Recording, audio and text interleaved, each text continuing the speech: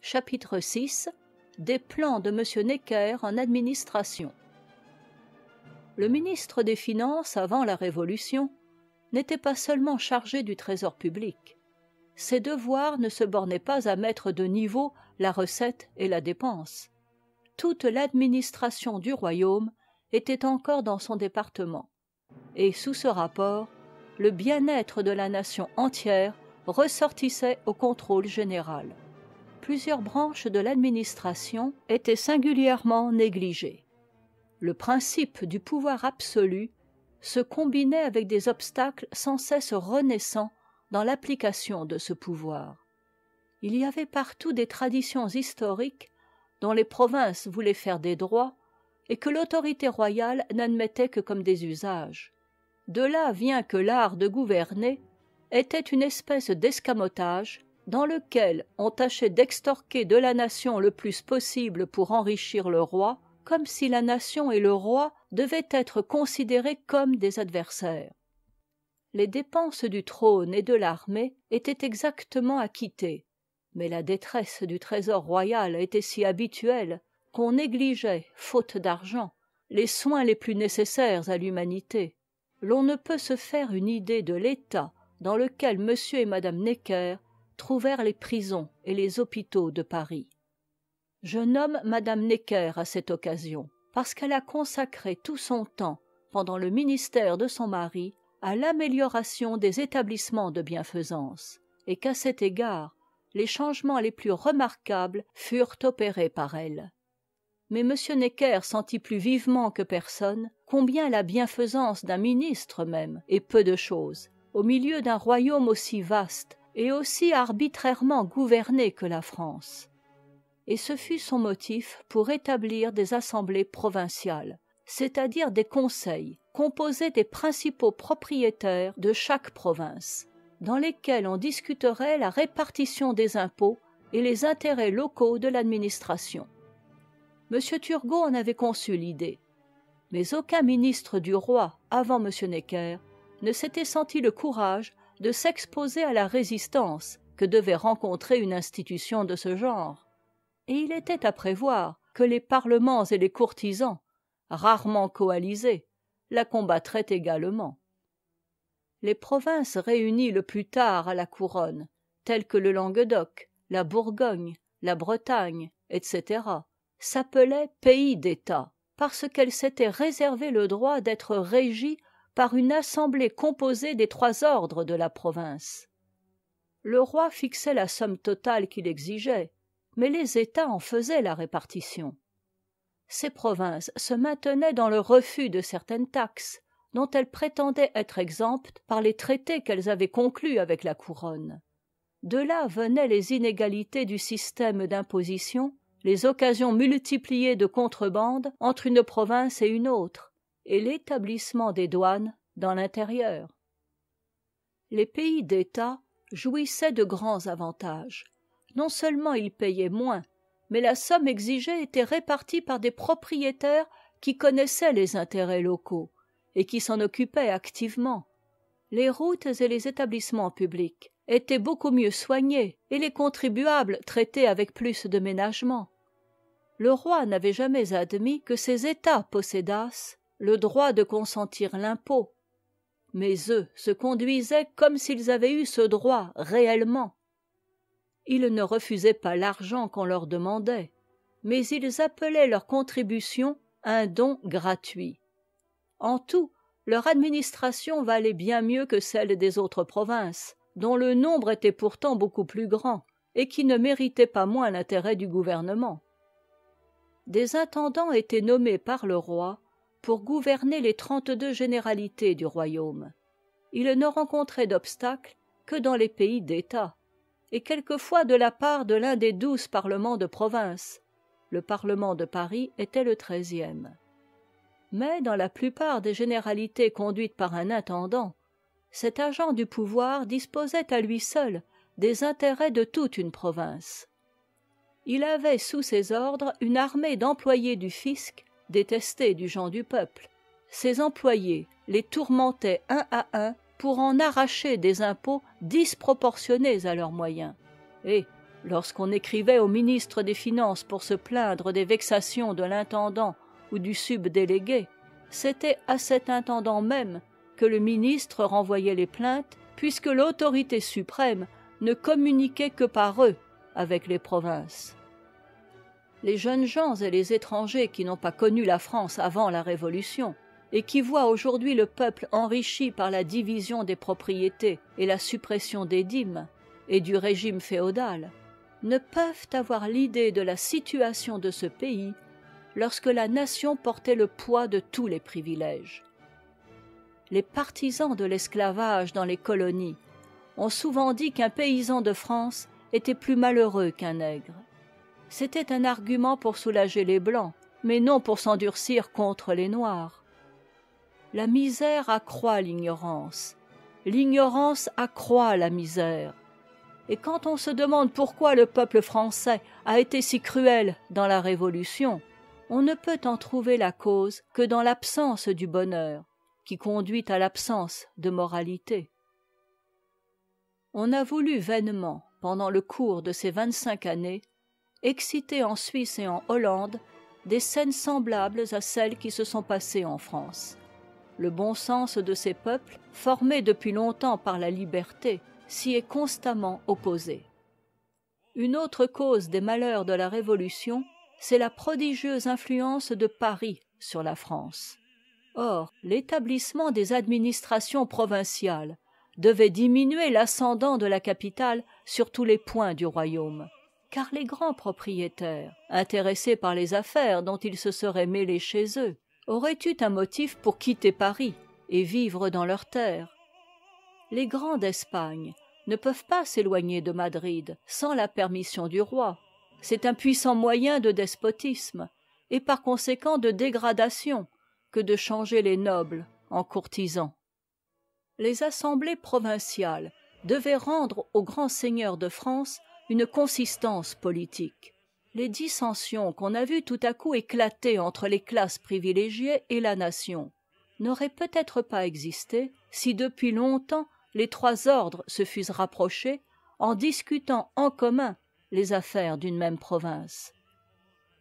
M necker composa les administrations provinciales instituées sous son ministère comme l'ont été depuis les états généraux d'un quart de nobles un quart du clergé et moitié du tiers état divisés en députés des villes et en députés des campagnes.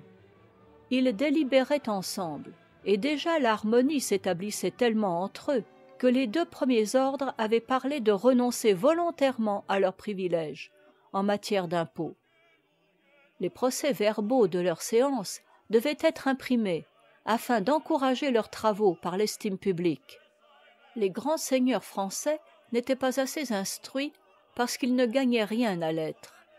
La grâce en conversation qui conduisait à plaire à la cour était la voie la plus sûre pour arriver aux honneurs. Cette éducation superficielle a été l'une des causes de la ruine des nobles. Ils ne pouvaient plus lutter contre les lumières du tiers état ils auraient dû tâcher de les surpasser. Les assemblées provinciales auraient par degrés amener les grands seigneurs à primer par leur savoir en administration comme jadis ils l'emportaient par leur épée. Et l'esprit public en france aurait précédé l'établissement des institutions libres. Les assemblées provinciales n'auraient point empêché qu'un jour on ne demandât la convocation des états généraux. Mais du moins quand l'époque inévitable d'un gouvernement représentatif serait arrivée la première classe et la seconde s'étant occupées ensemble depuis longtemps de l'administration de leur pays ne se seraient point présentées aux états généraux l'une avec l'horreur et l'autre avec la passion de l'égalité. L'archevêque de bourges et l'évêque de rodez furent choisis pour présider les deux assemblées provinciales établies par m. Necker. Ce ministre qui était protestant montra en toute occasion une grande déférence pour le clergé de france parce qu'il était en effet composé d'hommes très sages dans tout ce qui ne concernait pas les préjugés de corps. Mais depuis la révolution les haines de parti et la nature du gouvernement doivent écarter les ecclésiastiques des emplois publics. Les parlements prirent de l'ombrage des assemblées provinciales comme d'une institution qui pouvait donner au roi une force d'opinion indépendante de la leur m necker souhaitait que les provinces ne fussent point exclusivement soumises aux autorités qui siégeaient à paris. Mais loin de vouloir détruire ce qu'il y avait de vraiment utile dans les pouvoirs politiques des parlements c'est-à-dire l'obstacle qu'ils pouvaient mettre à l'extension de l'impôt ce fut lui m necker qui obtint du roi que l'on soumît aussi l'augmentation de la taille impôt arbitraire dont le ministère seul fixait la quotité à l'enregistrement du parlement. M necker cherchait sans cesse à mettre des bornes au pouvoir ministériel parce qu'il savait par sa propre expérience qu'un homme chargé de tant d'affaires et à une si grande distance des intérêts pour lesquels il est appelé à prononcer finit toujours par s'en remettre de subalterne en subalterne aux derniers commis les plus incapables de juger des motifs qui doivent influer sur des décisions importantes. Oui dira-t-on encore m necker ministre temporaire mettait volontiers des bornes au pouvoir ministériel. Mais c'était ainsi qu'il portait atteinte à l'autorité permanente des rois. Je ne traiterai point ici la grande question de savoir si le roi d'angleterre n'a pas autant et plus de pouvoir que n'en avait un roi de france la nécessité de gouverner dans le sens de l'opinion publique est imposée au souverain anglais. Mais cette condition remplie il réunit la force de la nation à celle du trône. Tandis qu'un monarque arbitraire ne sachant où prendre l'opinion que ses ministres ne lui représentent pas fidèlement rencontre à chaque instant des obstacles imprévus dont il ne peut calculer les dangers mais sans anticiper sur un résultat qui j'espère acquerra quelque évidence nouvelle par cet ouvrage je m'en tiens aux administrations provinciales et je demande s'ils étaient les vrais serviteurs du roi ceux qui voulaient lui persuader que ces administrations diminuaient son autorité. La quotité des impôts n'était point soumise à leur décision. La répartition de la somme fixée d'avance leur était seule accordée était-ce donc un avantage pour la couronne que l'impôt mal subdivisé par un mauvais intendant fit souffrir le peuple et le révolta plus encore contre l'autorité qu'un tribut quelque considérable qu'il soit quand il est sagement partagé? Tous les agents du pouvoir en appelaient dans chaque détail à la volonté du roi. Les français ne sont contents que quand ils peuvent en toute occasion s'appuyer sur les désirs du prince les habitudes serviles sont chez eux invétérées tandis que les ministres dans les pays libres ne se fondent que sur le bien public. Il se passera du temps encore avant que les habitants de la france accoutumés depuis plusieurs siècles à l'arbitraire apprennent à rejeter ce langage de courtisan qui ne doit pas sortir des palais où il a pris naissance. Le roi sous le ministère de m. Necker n'a jamais eu la moindre discussion avec les parlements. Cela n'est pas étonnant dira-t-on puisque le roi pendant ce temps n'exigea point de nouveaux impôts et s'abstint de tout acte arbitraire. Mais c'est en cela que le ministre se conduisit avec prudence. Car un roi dans le pays même où des lois constitutionnelles ne servent point de borne à son pouvoir aurait tort d'essayer jusqu'à quel point le peuple supporterait ses fautes personne ne doit faire tout ce qu'il peut surtout sur un terrain aussi chancelant que celui de l'autorité arbitraire dans un pays éclairé. M necker dans son premier ministère était encore plus ami de la probité publique si l'on peut s'exprimer ainsi que de la liberté. Parce que la nature du gouvernement qu'il servait permettait l'une plus que l'autre mais il souhaitait tout ce qui pouvait donner quelque stabilité au bien indépendamment du caractère personnel des rois et de celui de leurs ministres plus incertain encore. Les deux administrations provinciales qu'il établit dans le berry et le rouergue réussirent admirablement. Plusieurs autres étaient préparées et le mouvement nécessaire aux esprits dans un grand empire se tournait vers ces améliorations partielles il n'y avait alors que deux seuls moyens de satisfaire l'opinion qui s'agitait déjà beaucoup sur les affaires en général. Les administrations provinciales et la publicité des finances. Mais dira-t-on pourquoi satisfaire l'opinion? Je m'abstiendrai de toutes les réponses que feraient les amis de la liberté à cette singulière question. Je dirai simplement que même pour éviter la demande d'un gouvernement représentatif le mieux était d'accorder alors ce qu'on attendait de ce gouvernement c'est-à-dire de l'ordre et de la stabilité dans l'administration. Enfin le crédit c'est-à-dire l'argent dépendait de l'opinion. Et puisqu'on avait besoin de cet argent il fallait au moins ménager par intérêt le vœu national auquel peut-être on aurait dû céder par devoir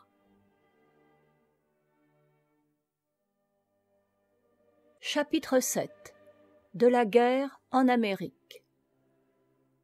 En jugeant le passé d'après la connaissance des événements qui l'ont suivi on peut dire je crois que louis xvi eut tort de se mêler de la guerre entre l'amérique et l'angleterre. Quoique l'indépendance des états-unis fût désirée par toutes les âmes généreuses. Les principes de la monarchie française ne permettaient pas d'encourager ce qui devait être considéré comme une révolte d'après ces mêmes principes.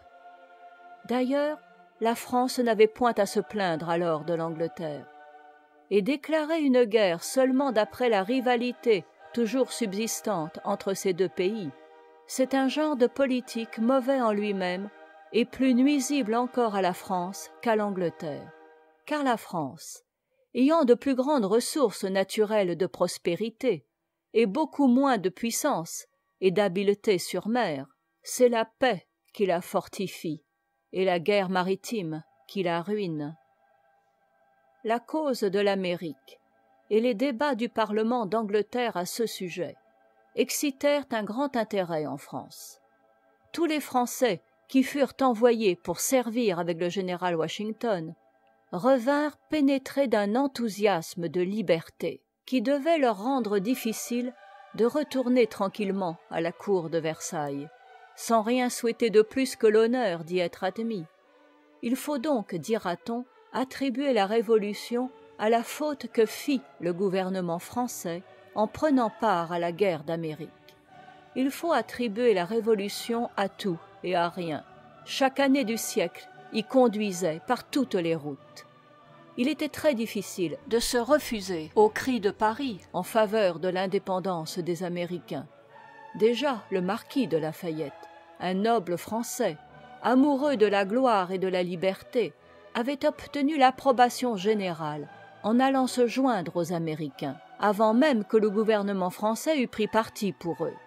La résistance à la volonté du roi dans cette circonstance fut encouragée par les applaudissements du public or quand l'autorité du prince est en défaveur auprès de l'opinion le principe de la monarchie qui place l'honneur dans l'obéissance est attaqué par sa base.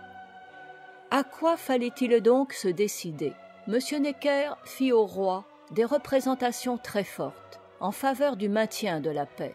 Et ce ministre accusé de sentiments républicains se prononça contre une guerre dont l'indépendance d'un peuple était l'objet ce n'est point je n'ai pas besoin de le dire qu'il ne souhaita vivement le triomphe des américains dans leur admirable cause. Mais d'une part il ne croyait pas permis de déclarer la guerre sans une nécessité positive. Et de l'autre il était convaincu qu'aucune combinaison politique ne vaudrait à la france les avantages qu'elle pouvait retirer de ses capitaux consumés par cette guerre ces arguments ne prévalurent pas et le roi se décida pour la guerre. Il faut convenir néanmoins qu'elle pouvait être appuyée par des motifs essentiels et quelque parti compris on s'exposait à de graves inconvénients. Déjà le temps approchait où l'on devait appliquer à louis xvi ce que hume dit de charles i il se trouvait dans une situation où les fautes étaient irréparables et cette situation ne saurait convenir à la faible nature humaine. Chapitre viii de la retraite de m necker en m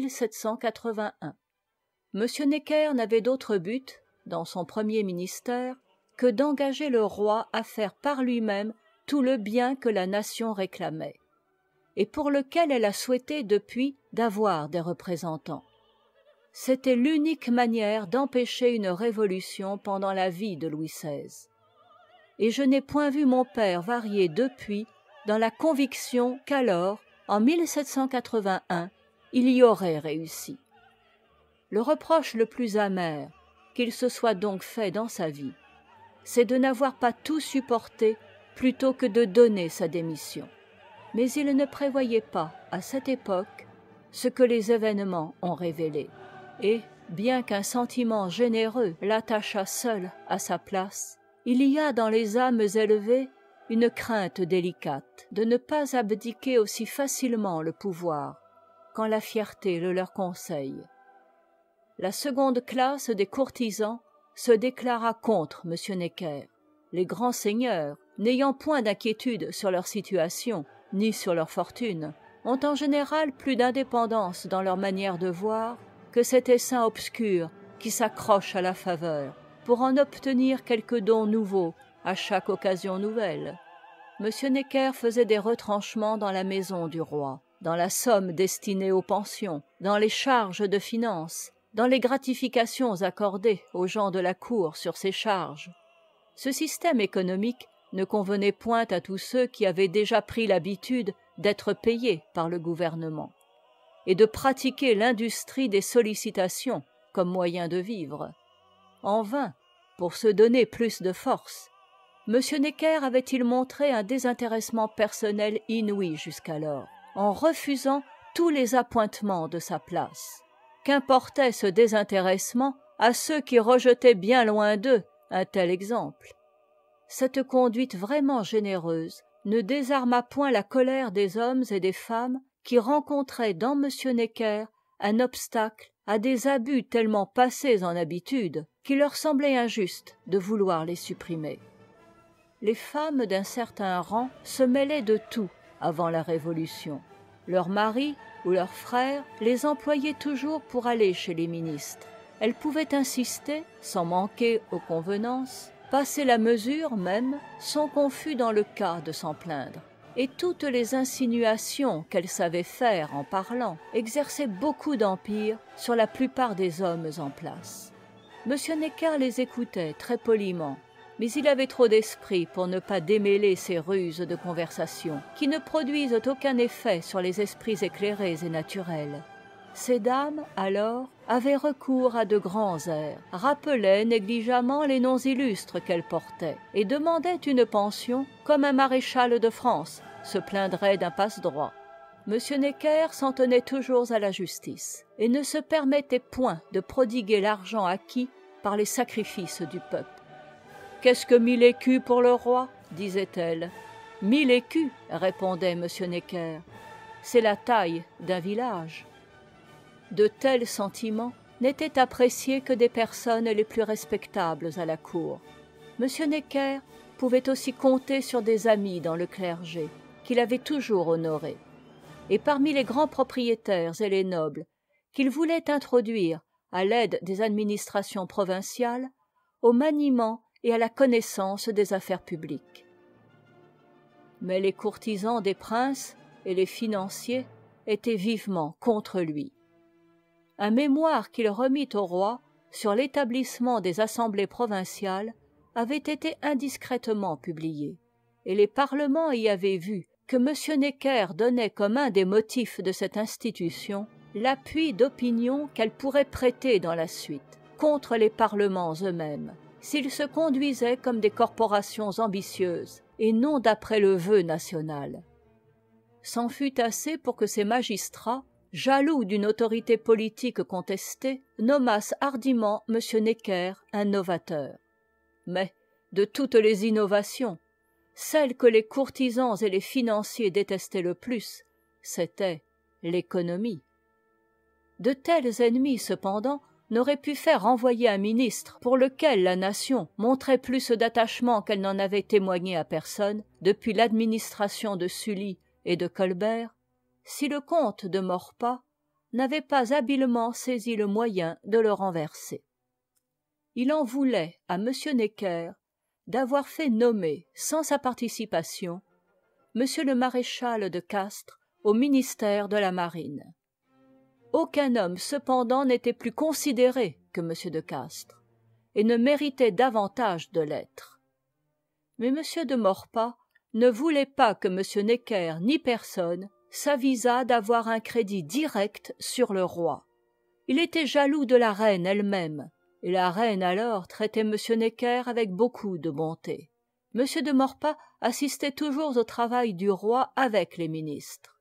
Mais ce fut pendant un de ces accès de goutte que m necker se trouvant seul avec le roi en obtint la destitution de m de sartine et la nomination de m le maréchal de castres au ministère de la marine de sartine était un exemple du genre de choix qu'on fait dans les monarchies où la liberté de la presse et l'assemblée des députés n'obligent pas à recourir aux hommes de talent. Il avait été un excellent lieutenant de police. Une intrigue quelconque le fit élever au rang de ministre de la marine. M. Necker alla chez lui quelques jours après sa nomination. Il avait fait tapisser sa chambre de cartes géographiques et dit à m. Necker en se promenant dans ce cabinet d'étude voyez quels progrès j'ai déjà faits je puis mettre la main sur cette carte et vous montrer en fermant les yeux où sont les quatre parties du monde. Ces belles connaissances n'auraient pas semblé suffisantes en angleterre pour diriger la marine à cette ignorance m. de sartine joignait une inconcevable ineptie la comptabilité de son département. Et le ministre des finances ne pouvait pas rester étranger au désordre qui avait lieu dans cette partie des dépenses publiques. Malgré l'importance de ces motifs m. de maurepas ne pardonna pas à m. Necker d'avoir parlé directement au roi et à dater de ce jour il devint son ennemi mortel. C'est un caractère singulier qu'un vieux ministre courtisan la chose publique n'était de rien à m de maurepas il ne s'occupait que de ce qu'il appelait le service du roi. Et ce service du roi consistait dans la faveur qu'on pouvait gagner ou perdre à la cour. Les affaires les plus essentielles étaient toutes subordonnées au maniement de l'esprit du souverain. Il fallait bien avoir une certaine connaissance des choses pour s'en entretenir avec le roi il fallait bien mériter jusqu'à un certain point l'estime pour que le roi n'entendît pas dire trop de mal de vous. Mais le mobile et le but de tout c'était de lui plaire. M de maurepas tâchait de conserver sa faveur par une multitude de soins inaperçus afin d'entourer comme avec des filets le monarque qu'il voulait séparer de toute relation dans lesquelles il aurait pu entendre des paroles sérieuses et sincères il n'osait pas proposer au roi de renvoyer un homme aussi utile que m necker. Quand on n'aurait fait aucun cas de son amour pour le bien public l'argent qu'il procurait par son crédit au trésor royal n'était pas à dédaigner. Cependant le vieux ministre était aussi imprudent en fait d'intérêt général que précautionné dans ce qui le concernait personnellement il ne s'embarrassait guère de ce qui arriverait aux finances de l'état pourvu que m. Necker ne se hasardât pas sans son consentement à parler au roi. Il était difficile toutefois de dire à ce roi vous devez disgracier votre ministre parce qu'il s'est avisé de s'adresser à vous sans me consulter il fallait donc attendre une circonstance d'un autre genre. Et quelque réservé que fût m. Necker il avait un caractère fier une âme irritable c'était un homme énergique enfin dans toute sa manière de sentir. C'était assez pour commettre tôt ou tard des fautes à la cour. Dans une des maisons des princes il se trouvait une espèce d'intendant m de sainte-foy. Intrigant tranquille mais persévérant dans sa haine contre tous les sentiments exaltés. Cet homme jusqu'à son dernier jour et lorsque sa tête blanchie semblait appeler des pensées plus graves cherchait encore chez les ministres même de la révolution un dîner des secrets et de l'argent. M de maurepas l'employa pour faire répandre des libelles contre m necker. Comme il n'y avait point en france de liberté de la presse c'était une chose toute nouvelle que des écrits contre un homme en place encouragés par le premier ministre et par conséquent distribués publiquement à tout le monde.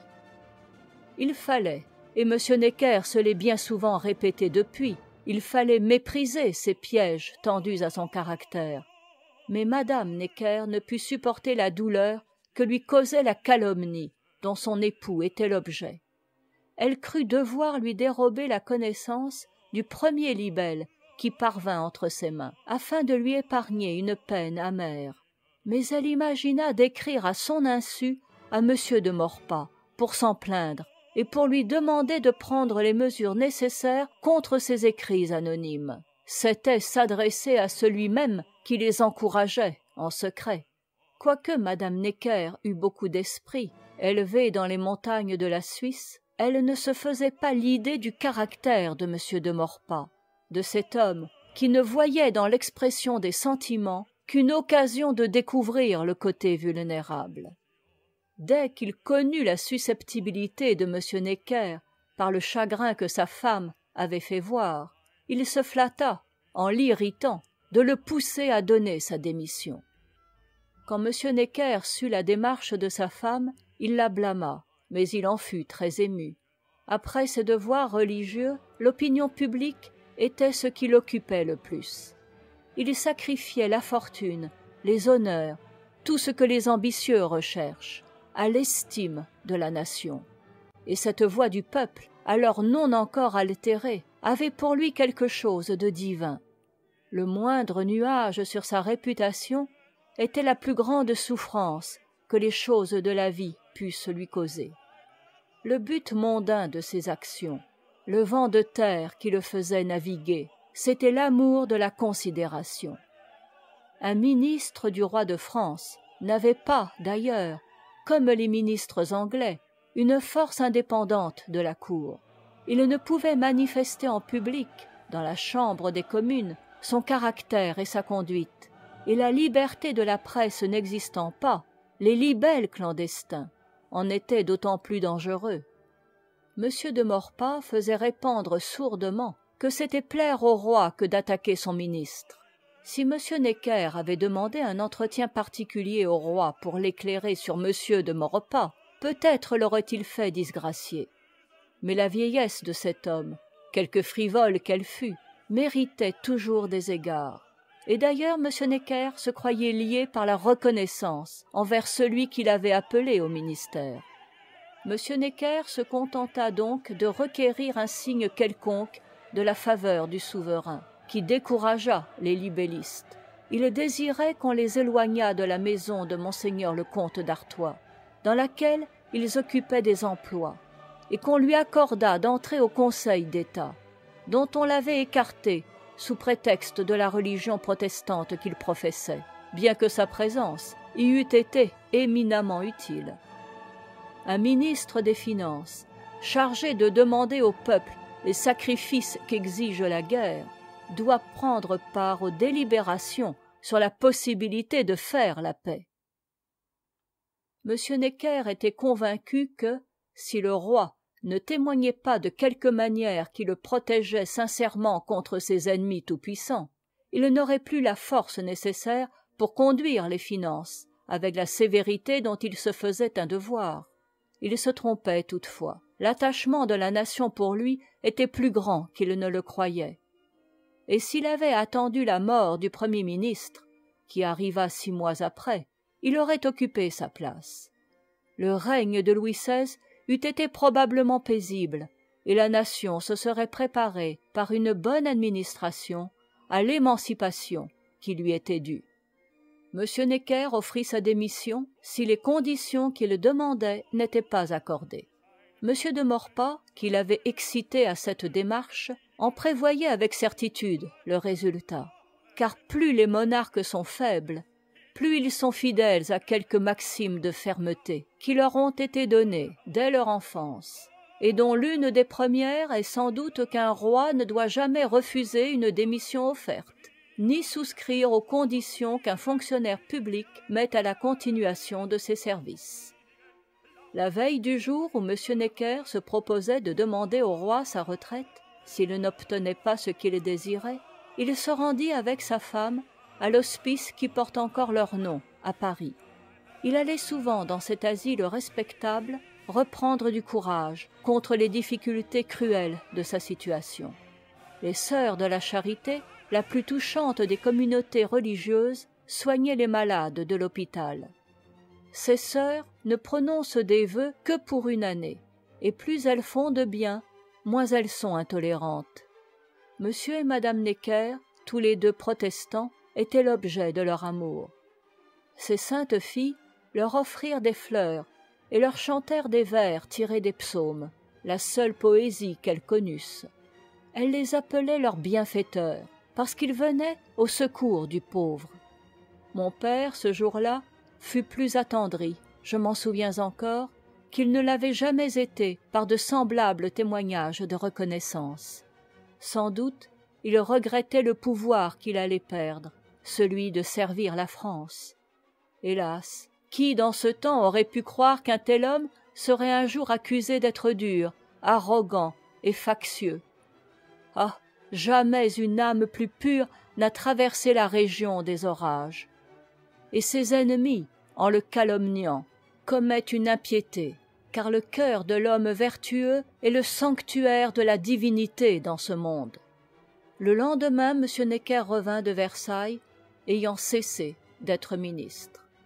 Il entra chez ma mère et tous les deux après une demi-heure de conversation donnèrent l'ordre à leurs gens de nous établir dans vingt-quatre heures à saint-ouen maison de campagne de mon père à deux lieues de paris.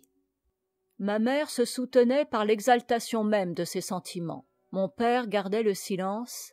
Moi j'étais trop enfant pour n'être pas ravi d'un changement quelconque de situation. Cependant quand je vis à dîner les secrétaires et les commis du ministère tous dans une morne tristesse je commençai à craindre que ma joie ne fût pas trop bien fondée. Cette inquiétude fut dissipée par les hommages sans nombre que mon père reçut à saint-ouen. Toute la france vint le voir les grands seigneurs le clergé les magistrats les négociants les hommes de lettres s'attiraient chez lui les uns les autres. Il reçut près de cinq cents lettres des administrations et des diverses corporations des provinces qui exprimaient un respect et une affection dont aucun homme public en france n'a peut-être jamais eu l'honneur d'être l'objet. Ces lettres sont un trésor de famille que je possède à coppet les mémoires du temps qui ont déjà paru attestent la vérité de ce que j'avance à cet égard. Note correspondance littéraire philosophique et critique adressée à un souverain d'allemagne par le baron de grimm et par diderot. Tome v page mai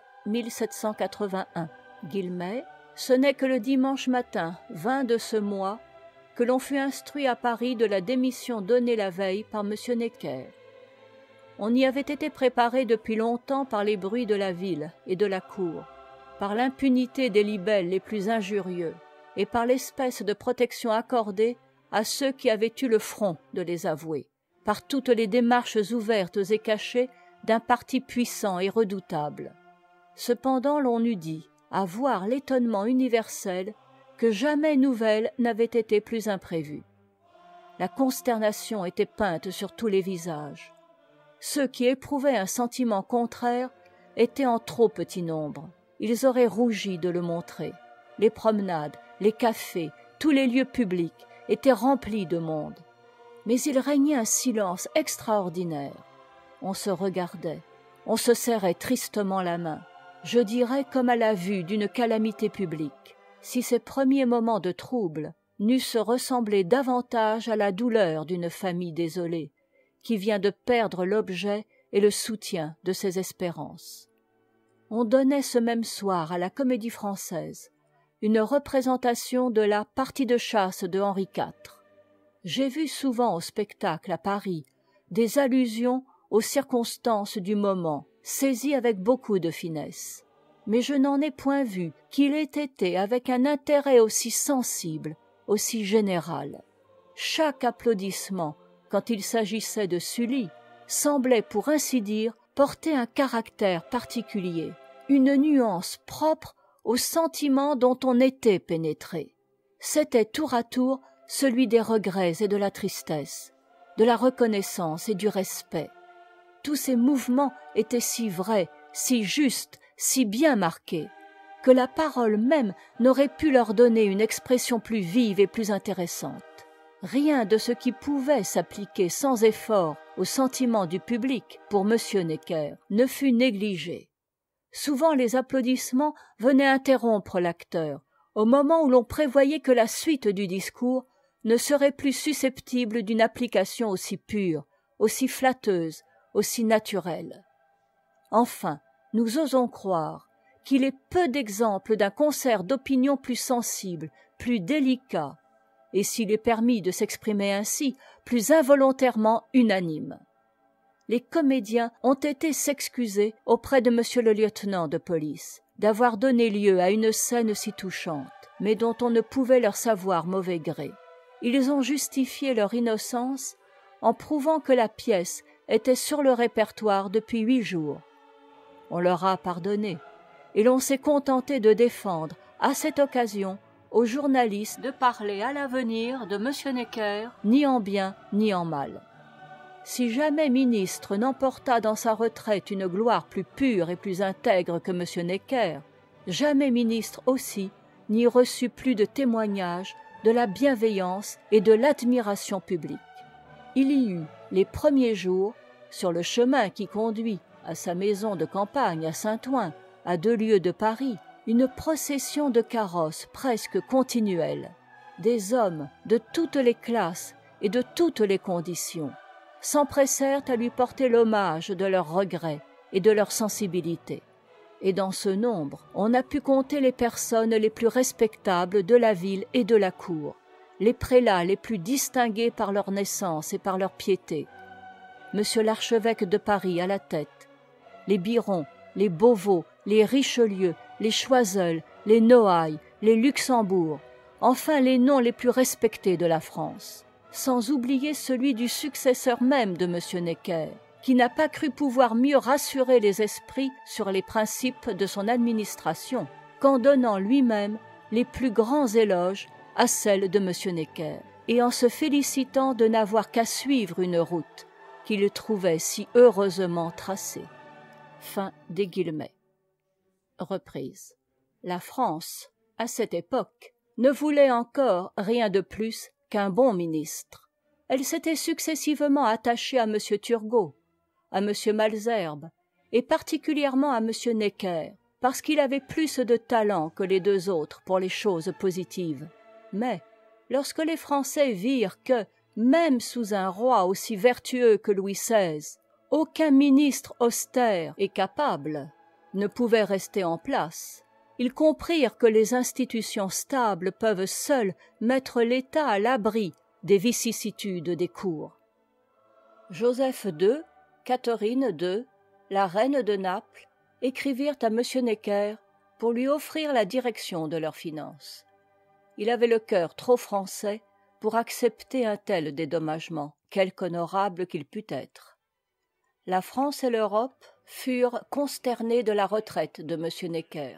Ses vertus et ses facultés méritaient cet hommage. Mais il y avait de plus dans cette impression universelle la crainte confuse de la crise politique dont on était menacé et que la sagesse seule du ministère français pouvait retarder ou prévenir. On n'aurait certes pas vu sous louis xvi un ministre disgracié comblé d'épreuves d'estime par toutes les classes de la société. Ce nouvel esprit d'indépendance devait apprendre à un homme d'état la force de l'opinion. Néanmoins loin de l'aménager pendant les sept années qui se passèrent entre la retraite de m. Necker et la promesse des états généraux donnée par l'archevêque de sens il naît sorte de faute que les ministres n'aient commise. Et ils ont exaspéré chaque jour la nation sans avoir entre leurs mains aucune force réelle pour la contenir